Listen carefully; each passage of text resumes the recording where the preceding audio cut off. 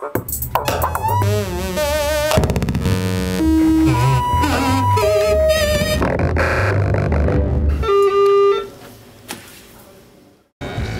I'm Andrew Kilpatrick from Kilpatrick Audio, and I'm here to show you Carbon, our very new sequencer. Carbon is a six-track step sequencer and performance controller. It's designed from the ground up, but it's based upon some of the concepts from previous projects we've done, like the pattern generator module for Eurorack, as well as uh, several other sequencer designs that we worked on before. We've taken the pattern generator concept with an 8x8 grid of steps and we've taken it to a whole new level by adding real-time and step recording, polyphony on every track, arpeggiators on every track, and a whole bunch of connectivity on the back that makes this a really useful device in your setup. So we've got multiple CV gate outs. There's four pairs of CV gate outs plus analog clock outputs, dual MIDI outs, MIDI in, USB powered host, and USB device. So you can use this with your computer either to sync to your computer or when you turn the unit off, you can use this as a MIDI and CV gate interface just by itself so you don't have to repatch all your gear.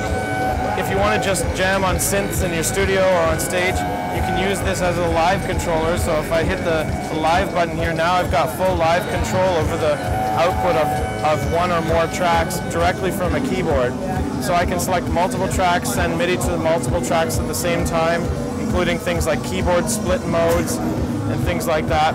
I can assign uh, clock outputs to different MIDI ports at different tempos. So if you have devices that you want to run at, at different speeds, you can just set the tempo right in here and save it all in your song. Songs are saved internally on an internal 2 megabyte flash. Uh, you can also upload and download data from your computer with USB.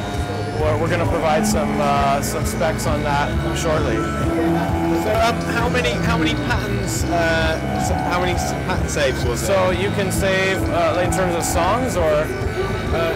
In, in terms of patterns that relate Oh, to okay. songs. Okay, so within one song, there are 64 steps per track, six tracks.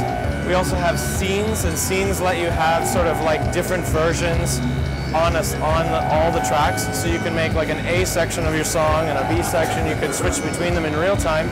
Or what you can do is you can schedule them to change in like a song list. So you could say play this scene for 64 steps, then play a different scene for you know 16 16 uh, beats, and then you can also set the transposition on the scene separately as well, so that you know you can create a whole song structure that goes around and around, and then you can solo over top of it. So it's a really great way to just get ideas going quickly without ever having to stop the sequencer and you know rewind and any of that. It's it's designed to go around and around just to get you inspired and making music. Because um, one, one thing I remember from your original videos is uh, the kind of the visual aspect of the patterns. Sure. Um, yeah, I can give you a, demonstration of that. Basically, we've recorded uh, some uh, real-time recordings here. There's only six, uh, three notes shown. Uh, I can show you a different uh, example here.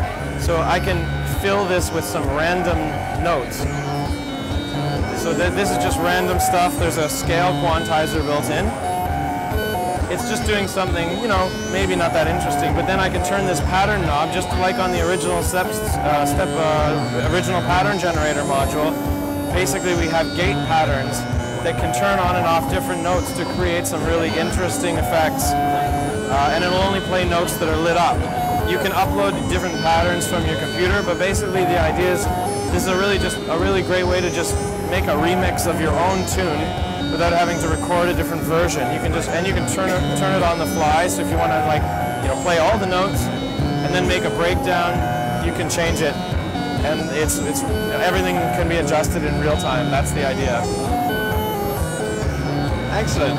Um, so, uh, what was the what was the retail price? So it's it's going to retail for $6.99 US, and uh, it'll be available in around May or June to retailers. Excellent. Thank you very much. Thanks a lot.